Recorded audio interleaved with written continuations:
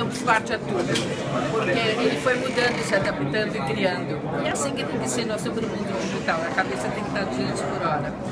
E essa, quando entra na questão do empreendedorismo, é bom, porque a maioria do que eu vi aqui tem menos de 20 anos, gente. É gente que está entrando, mas já sabe muito.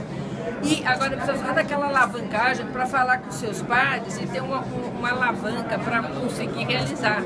Vai sair muita coisa boa e nós vamos ser os primeiros no mundo nisso, eu não tenho nenhuma dúvida. E basta ver a animação do, do pessoal, porque eu já vi de coisa que eles estão produzindo e é fantástico. Inclusive, eu encontrei três que um era, cada um era de um estado, já tinham se conhecido no, no outro Campus Party, mas nas férias já fizeram um projeto e o projeto é legal.